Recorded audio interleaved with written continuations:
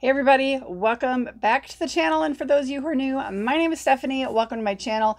All right, you guys, in some of my last videos, I told you I would be talking about many of the things I am packing for our upcoming cruise. Now, if you are a first time cruiser, um, I just, I thought I'd share my suggestions for you there's going to be a number of videos I'm going to make in order to keep it relatively uh, short, but be able to go a little bit in depth on each of them. So I will probably be developing a bunch of videos and therefore probably a playlist. So the first thing I want to talk to you guys about is getting a pretty extensive first aid kit together if you're going on a cruise that is five or more days long. And honestly, if you're going anywhere out of the country that you live in, um, I really recommend a first aid kit. And if you have a family that you're taking, like mom, dad, and the kids, I really recommend this. So what I suggest you do is get one of these hanging like caddy organizers okay? So i have a couple of these. This one is my first aid kit. Here's what it looks like. I got it on amazon and i have linked these in my amazon shop okay? That link is down below. I'm to show you guys. The nice thing is they just hang and then it all folds up to go into your luggage. Okay, so the nice thing is it hangs because you don't have a ton of room in your cruise cabin. Depends on the size room you get, but space is always at a premium in a cruise. So this is really pretty extensive first aid kit, and I'm going to hopefully explain to you guys why I pack everything I pack. So this one's got some, a little pocket, a zipper pocket here in the front, which is right here. So first thing I got, this is a very, very, very little tiny travel size dental floss. I got two of those. nice thing is you use these up and you get rid of them on the ship, you're done. You're not hauling them back, okay? The next thing is I've got a couple of these single vial eye drops. This is just purified saline to wet your eyes. However, if you get something in your eye and you need to try to flush it, these are really nice to have. Because they are a single container, they're sterile and you're not contaminating with uh, like an open bottle.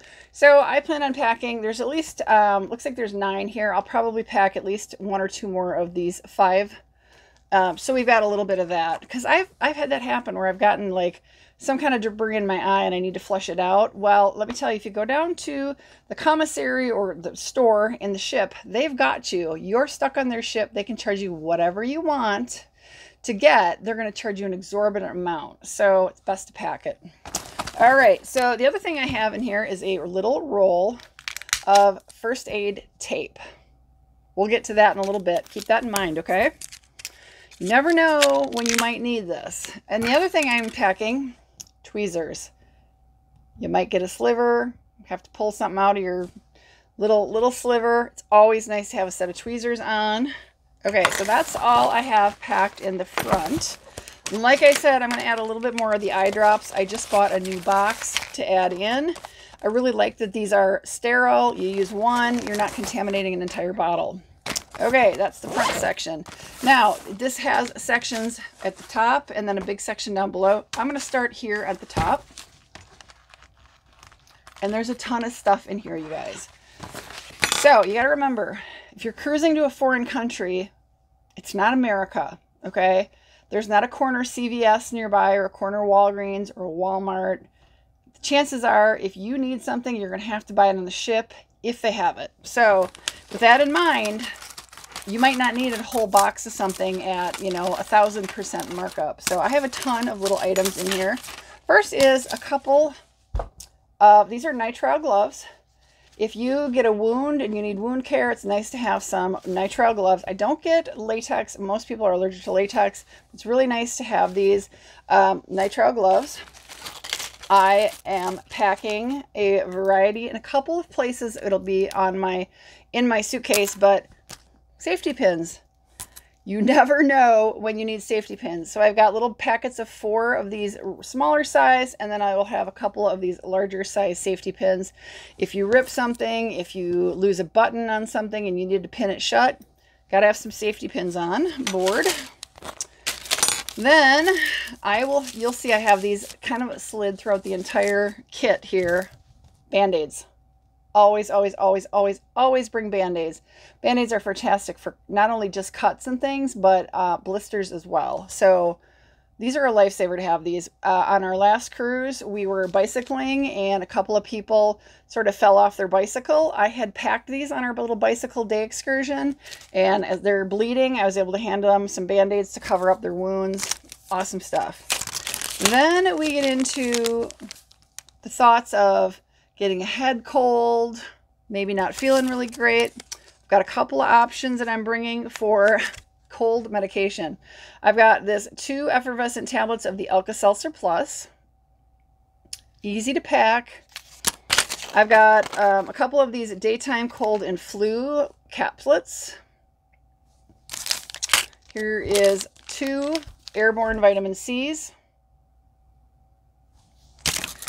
I have, these are, I got to read them upside down. These are nighttime soft gels that are um, acetaminophen, um, di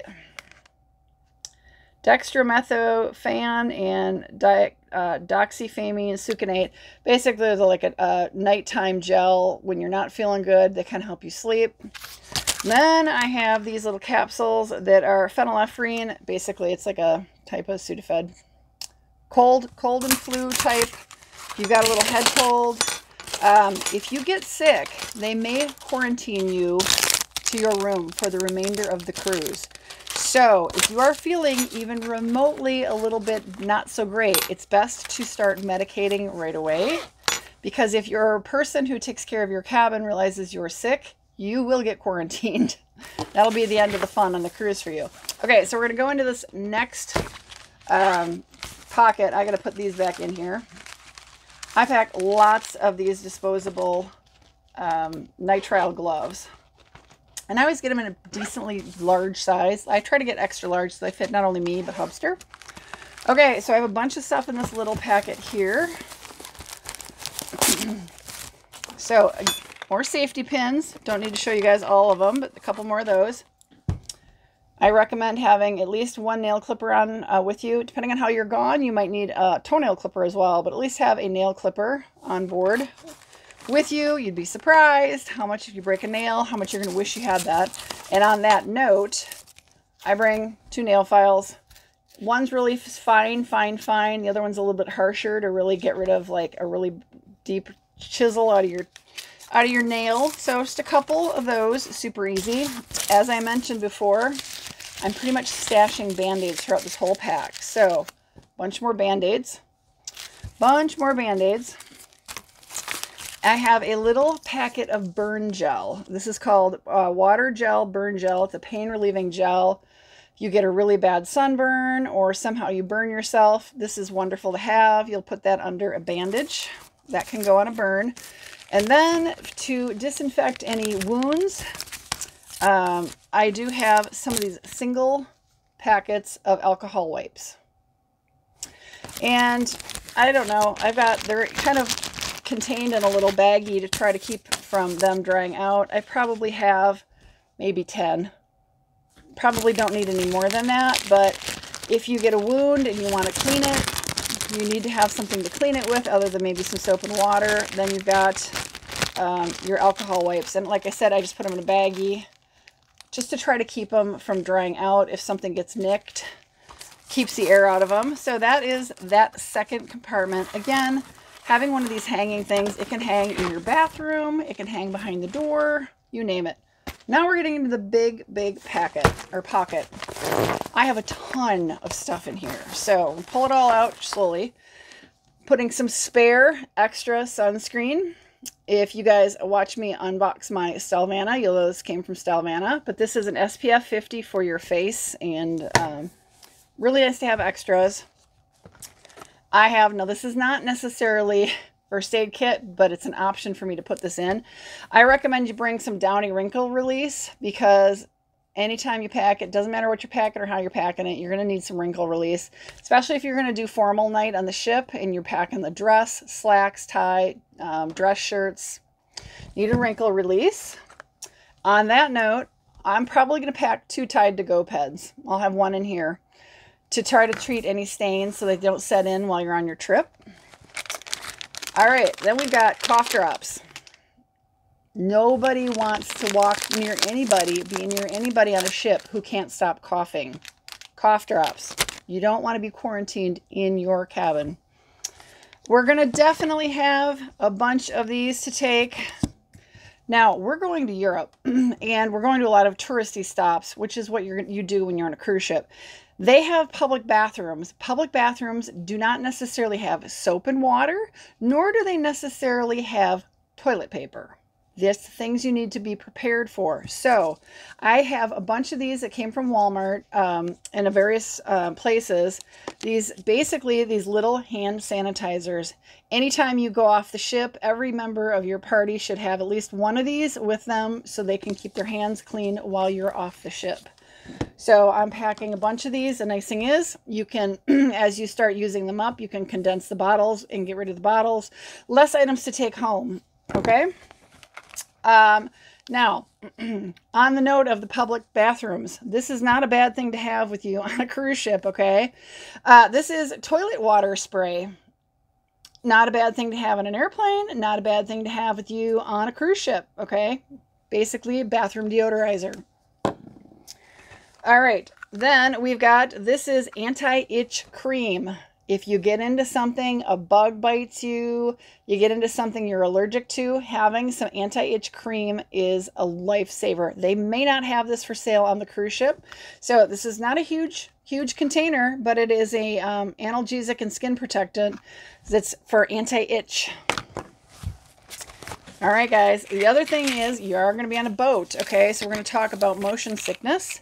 This is the uh, natural ginger Dramamine. So actually works really well.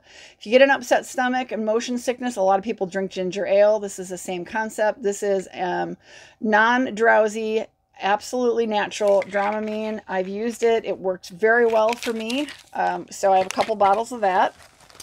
And then, of course, sometimes you want to be sleepy. I've got regular Dramamine as well for, you know, if the ginger is just not helping us, I've got the regular. These are super easy sample, little, not sample, but tra uh, travel sizes. I've got a lot of this stuff, you guys, linked in my Amazon shop, okay? Super easy to find. Not huge bottles to pack, very easy to pack. Then we're going to have our travel size acetaminophen, which this one is Advil. I will get into this a little bit in another video. I am packing, it will be separated from this, but I am packing an entire, what I call drug kit, which has um, a bunch of like the same type stuff because if this gets lost, my luggage gets lost and I lose this, I'm going to have some stuff with me as well. So we've got that sample size. Then, you know, they have buffets. They have amazing, amazing restaurants. You can eat whatever you your heart's desire on these cruise ships. Sometimes, sometimes you need an acid for maybe overeating or eating something that you just didn't agree with you and you get some uh, upset tummy. These are wonderful to have with you.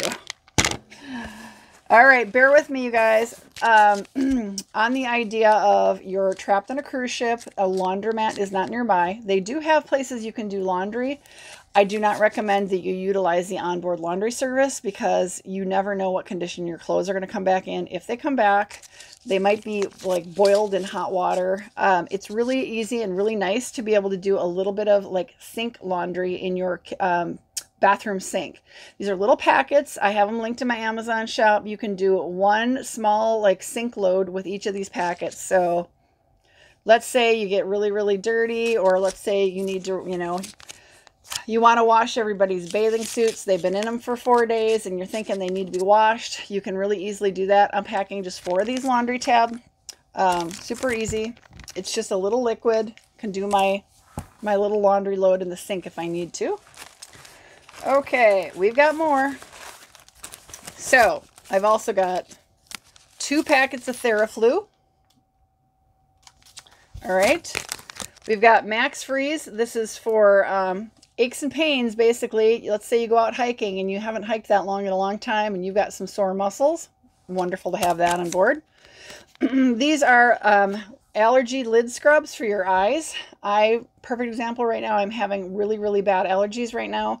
We are all cutting our first crop of hay um, in basically the entire southern part of our state and my hay fever is going crazy. My eyes are itchy. You just wipe your eyelids after you wash your, your face. You wipe your eyelids with these. Now, these ones actually do contain um, green tea leaf extract and some other tea tree and some other things. So make sure, you know, if you do buy these, check out the ingredients, make sure they're not going to aggravate your allergies. Now, talk about band-aids. Definitely good to have some larger sized um, band-aids with you. These are pretty decent size. I'm hoping you can see it through the, again, blisters, cuts, maybe you scrape a knee. These are great to have. You're going to pay a lot of money on the cruise ship to buy them if you need to in their store. Um, I also really, really, really recommend these Compeed Blister Care. Okay. These are amazing. You're going to put these right over wherever you're getting a blister. These particularly the size are for like your heel area. If you get a blister walking and heel, these are fantastic. We're still going. The other thing I recommend, because you can cut them to fit whatever size you need, is just getting this little bit of moleskin padding. Moleskin is absolutely wonderful to protect areas, you know, sensitive areas that are getting rubs and blisters and things. Um, so these are big sheets. What you need to do is bring with you a little scissors, which is in here somewhere. We'll find it eventually. But you just cut these to whatever size and shape you need. These are fantastic. There's still more. We're almost done, guys. We're almost done. Thanks for staying with me. Okay, we've got another, um, this is a little facial scrub. Just a little sample size face scrub. Super easy to take along, have with. I've got another small thing of um, sunscreen. Just little, little, tra little travel size. And then I've got these two little travel size sunscreens as well. This is uh, SPF 50 and SPF 100. These are great to take out on an excursion with you. You can reapply. You can use one whole one of these for the day and be done with it. Uh, instead of lugging around like a big, large bottle of sunscreen. Kind of nice to have some of those travel sizes. On the thought of more first aid, I have two gauze strips. Um, again, you, you don't know. You could fall, trip, hurt yourself.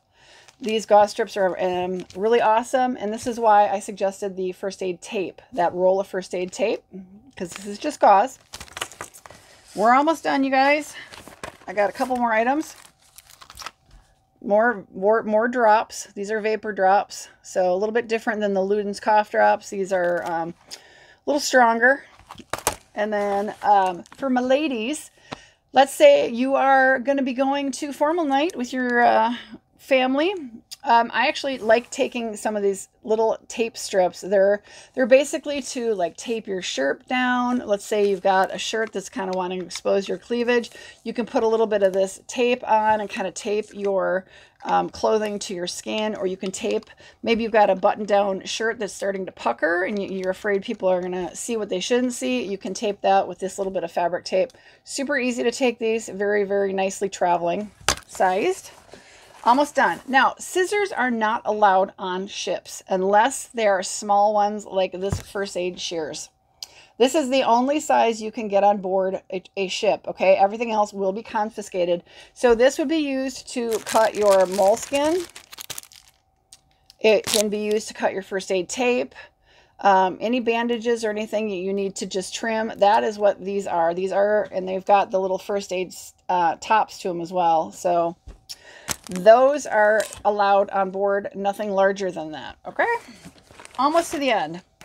We talked a little bit about um, seasickness and motion sickness with the Dramamine. These I highly recommend you have on board. You never know when the seas are going to get rough. These are called sea bands. You can get these again in uh, off Amazon and a, in a bunch of places. These work really, really well for seasickness. Okay, they just go on your wrist. So if you're getting out and um, you know your your captain's warning you there's going to be rough seas, just put one of these on don't even wait for you to get seasick. You just put one of these on. They're fantastic. Um, you can kind of see the pictures. They go just right around your uh, wrist and they're drug free. So it's nausea, travel, morning sickness, chemotherapy induced nausea relief. Um, very, very, very well known. So that is pretty much what I have in here right now.